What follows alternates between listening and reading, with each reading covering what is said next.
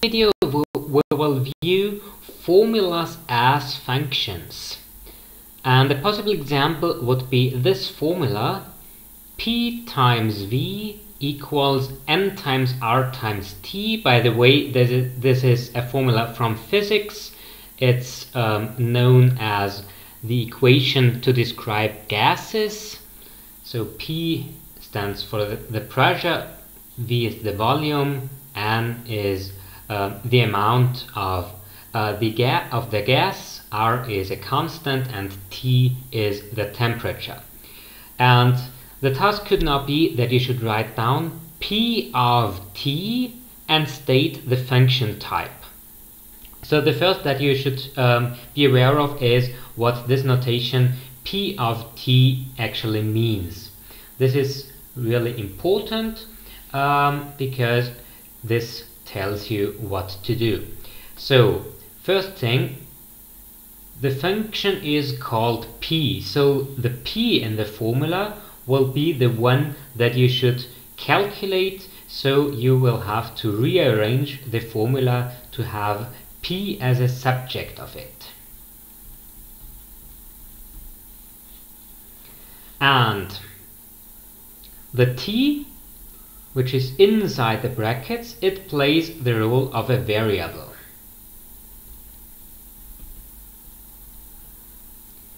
Okay, so let's start. The first thing is, as we said, that we have to rearrange the formula um, in a way that P is the new subject.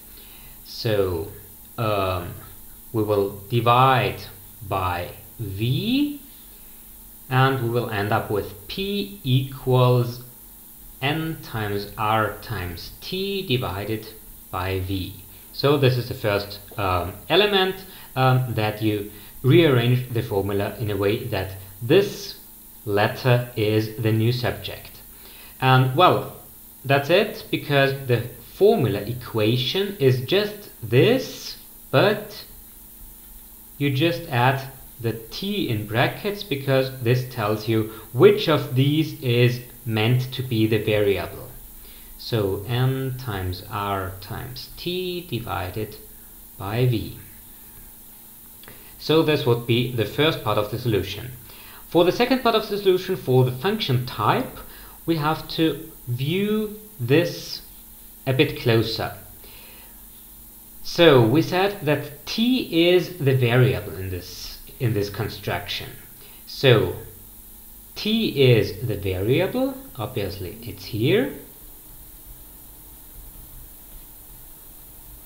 And as you know from um, discussing the different function types, any letter that occurs in a, in a formula, in a, a function, and which is not the variable, is called a parameter. So these are parameters.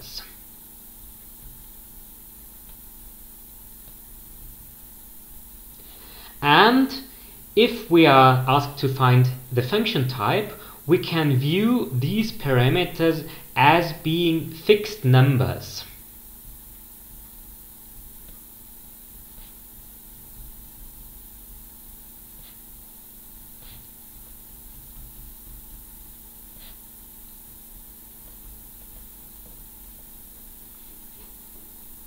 So this n times r divided by v, this is just um, some numbers. So you multiply some numbers and divide it by another number. So all of this green stuff is just any some number you don't really know what number, but you don't have to know it because you can completely ignore um, the exact value of it. It's only important to know that it will be one number. So what can you tell about the about um, the function now? You can tell that it's gonna be something that's the green one times t that's the yellow one so something times the variable and now you should go through the function types that you know and try to think whether there is one that has um, something, so some constant multiplied by the variable. So this will be a parameter, this will be a constant, and this will be the variable. So if you want to think about uh, in, in terms of f of x, then the f of x should be something times the variable x. Well, um, there is actually a function type that does this. Um, maybe you remember that there is a function type f of x equals m times x plus c. This is the equation of a linear function. Um, and obviously in this case there is no plus c, so the z, c will be 0. So um, if you want to answer the question, um, what is the function type, then you could say that it's a linear function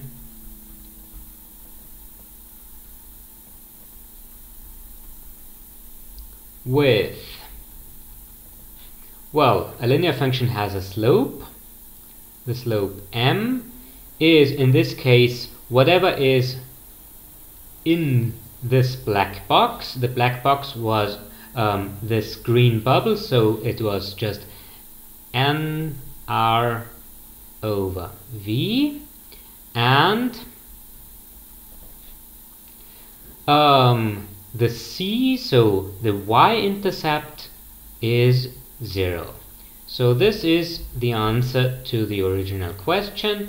Uh, what function type is it? It is a linear function with m equals n times r divided by v and c equals 0. Let's do another example. Another formula that you probably know from physics E equals m times c squared so this, this is energy equals mass times the square of the, uh, the speed of light. And um, you could you may want to know the, the function type e of c. And well, in this case, you don't have even have to um, rearrange the formula because it's already e of c equals m times c squared and um, now you have to think that the c is the variable right this is the variable and everything else will be parameters and if you compare it to function types that you know then you could find out that e of z is a quadratic function. Because the variable is squared.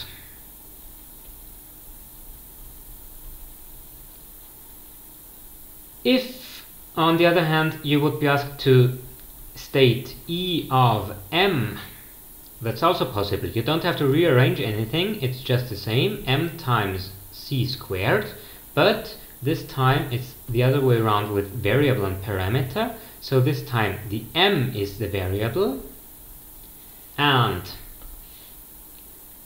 this one is a parameter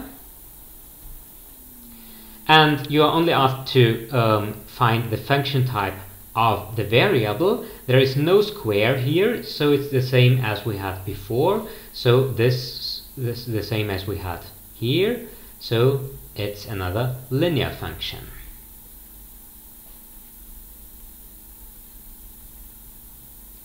You could also be asked to state, for instance, C of E. Well, how to do that? You would have to rearrange the formula in order to have C as the new subject. So you would divide by M e over m equals c squared. Now take the square root and you would end up with the square root of e over m equals c.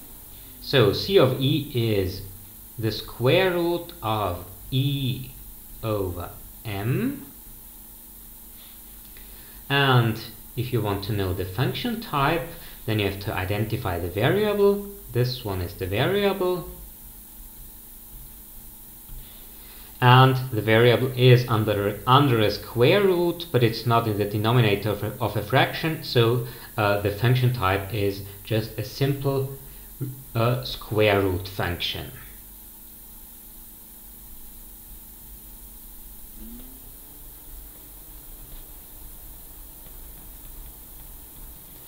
Well, as you can see, one formula contains a lot of different function types um, depending on um, which variable you want to have for the subject and which variable you want to have as an actual variable for the function um, which is in this pair of brackets.